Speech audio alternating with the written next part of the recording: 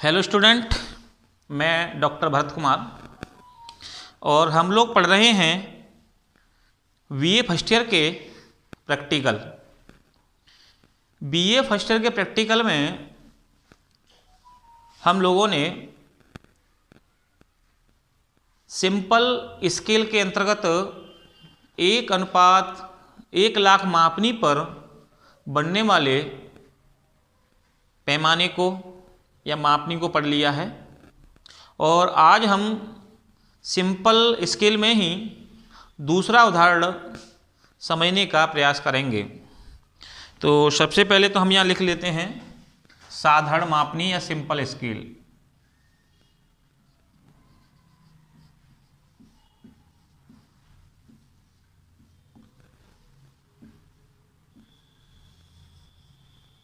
Simple scale. Question है। एक अनुपात तिरसठ हज़ार तीन सौ साठ निरूपक भिन्न पर या प्रदर्शक भिन्न पर भिन्न पर। एक अनुपात तिरसठ हज़ार तीन सौ साठ, प्रदर्शक भिन्न पर।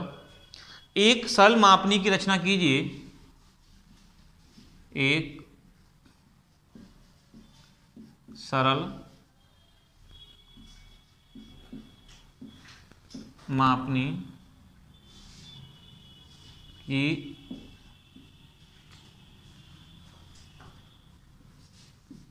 रचना कीजिए कीजिए जिस पर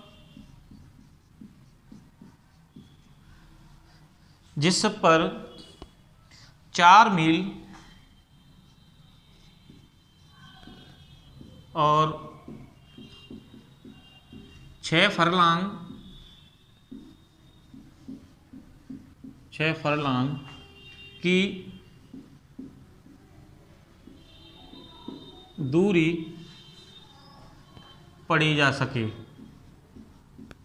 पड़ी जा सके।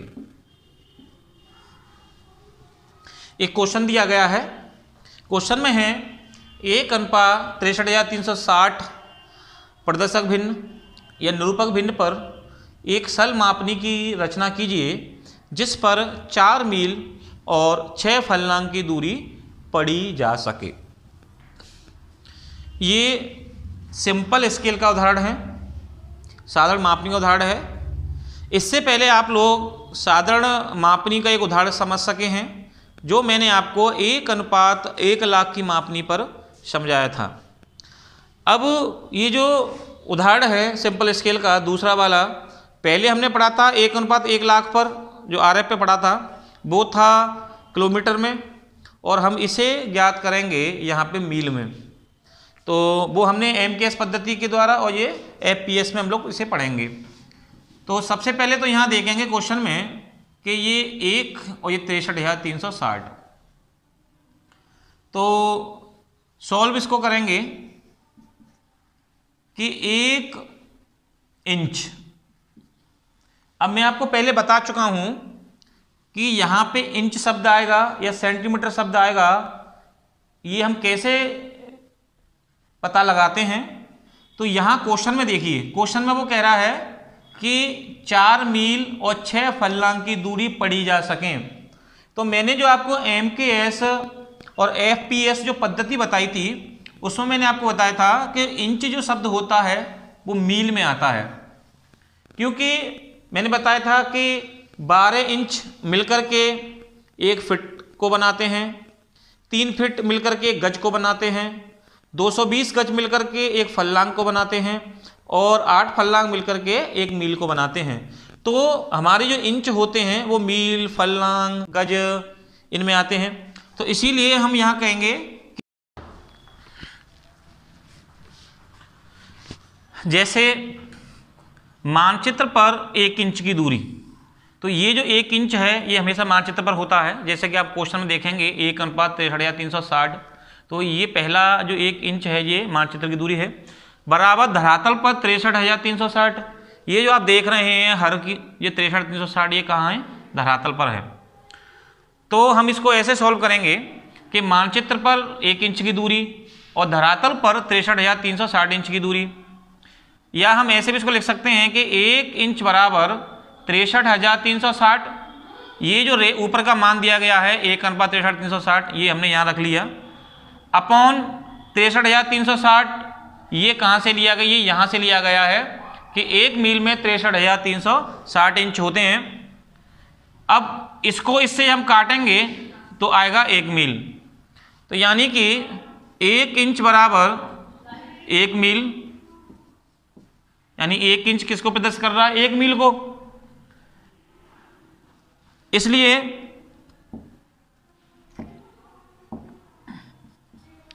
छ इंच प्रदर्शित करेगा छ गुणा एक बराबर छ मील। कहने का मतलब ये है कि आर एफ़ जो दिया गया है, वो एक अनुपात तिरसठ हज़ार तीन सौ साठ इंच है। इस आर एफ़ के अनुसार ये जो दूरी है, वो मानचित्र के एक इंच को दिखा रही है। और ये जो दूरी तिरसठ हज़ार तीन सौ ये धरातल को दिखा रही है। हम ऐसे भी इसको लिख सकते हैं, एक इंच बराबर तिरसठ हज़ार तीन सौ साठ ये क्वेश्चन का जो आर एफ़ है वो रख लेते हैं। बट्टे नीचे वही संख्या आती है जो क्वेश्चन पूछी जाती है, जैसे मील। तो एक मील में तिरसठ हज़ार तीन सौ साठ होते हैं, इसलिए हमने इसको यहाँ रख लिया। इसको इसको काटेंगे तो आएगा एक मील। तो एक इंच बराबर एक मील। एक इंच किसको प्रदर्शित कर रहा है? एक मील को। तो इसलिए छः इंच प्रदर्शित करेगा छः मील को। अब आप ये कहेंगे कि ये सर छः इंच कहाँ से आया? तो जैसे हमने किलोमीटर की मापनी में पंद्रह सेंटीमीटर अपनी तरफ़ से माने थे, वैसे ही इंच की मापनी में छः इंच हमें अपनी ओर से लेने पड़ते हैं। तो छः इंच बराबर छः मील।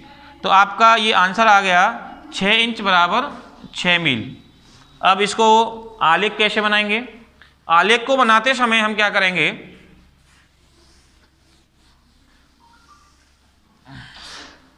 सबसे पहले छः इंच की एक दूरी खींचेंगे स्केल से, और एक एक इंची के छः भाग करेंगे।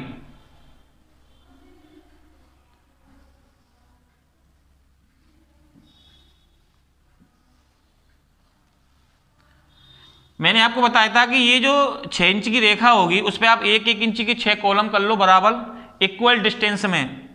फिर इसको आधा सेंटीमीटर ऊपर एक खड़ी रेखा इधर बना लो और एक इधर बना लो, फिर इनको आपस में ऐसे मिला दो। ऐसे। आप चाहें तो इसके बीच में भी एक और रेखा ऐसे बना सकते हैं हम लोग।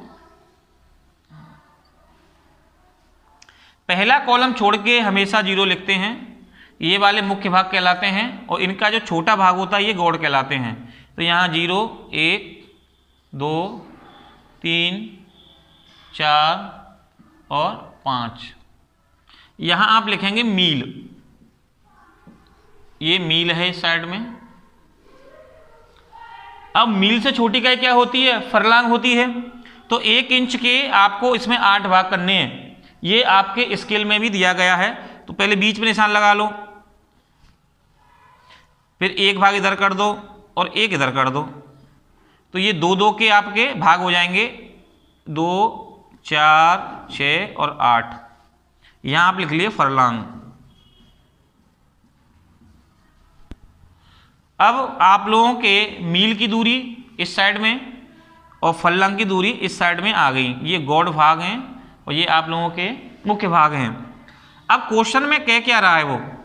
क्वेश्चन में वो कह रहा है कि चार मील और छः फल्लांग की दूरी पड़िए तो मील की तरफ़ आ जाओ, चार मील। इस पर एक एरो लगा दो। ये एरो लगा दिया हमने चार के ऊपर। ये एरो एक इंची का ही होना चाहिए, इससे बड़ा या छोटा नहीं। तो चार पे लगा लो मील। फल्लांग कितने पड़ पा रहा है? छः तो दो, चार छः छः की रेखा ये है। ये यहाँ छः पे एक एरो बना दिया, एक इंच ऊँचा। फिर इनको आपस में ऐसे मिलाते हैं। ऐसे।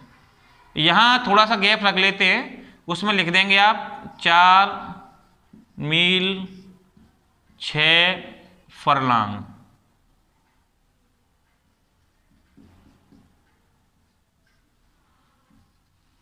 चार मील और छः फरलांग। इसके बाद में यहाँ पर आप क्या करेंगे? आर एफ़ लिखेंगे।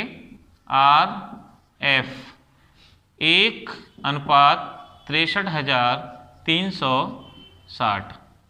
ये हल हो गया आपका सिंपल स्केल में सल मापनी में मील वाला क्वेश्चन। तो हमें सल मापनी के दो क्वेश्चन करने हैं। एक में इससे पहले आपको बता चुका हूँ, किलोमीटर वाला। और ये जो आपका क्वेश्चन है, ये क्वेश्चन है सिंपल स्केल में मील वाला। तो हम इस प्रकार से इसको क्या कर सकते हैं? बना सकते हैं। आप चाहे तो इसका स्क्रीनशॉट भी ले सकते हैं। अब ये तो आपने बना लिया। अब आप क्या करेंगे कि जब आप फ़ाइल की पेज पे बनाएँगे तो मैं आपको थोड़ा बता देता हूँ कि आपकी जो फ़ाइल होगी, एक तो लाइनिंग वाले पेज होते हैं और एक होता है ड्राइंग वाले पेज। तो मान के चलो कि ये वाला ड्राइंग का पेज है, इस साइड में आपका लाइन का पेज है, ये लाइन वाला पेज है। और ये आपका ड्राइंग का पेज है। तो हमेशा मापनी का जब हम लोग स्केल बनाते हैं तो क्वेश्चन तो इधर आना चाहिए। ये क्वेश्चन आपका आ गया, जैसे एक अनुपात तिरसठ हज़ार तीन सौ साठ। मापनी ये लिखने का काम यहाँ हो गया और यहाँ आपको ने इसी को यहाँ सॉल्व कर दिया। इसी के जस्ट सामने ड्राइंग की सीट होगी, जहाँ पर आप मापनी बनाएँगे। तो सबसे पहले मापनी वाले समय ऊपर लिख लो। सिंपल स्केल सीट में। यहाँ पे मापनी बन जाएगी, नीचे की साइड में। यहाँ पे आप मापनी बना दोगे और इस प्रकार से इसको यहाँ दिखा दोगे और यहाँ पे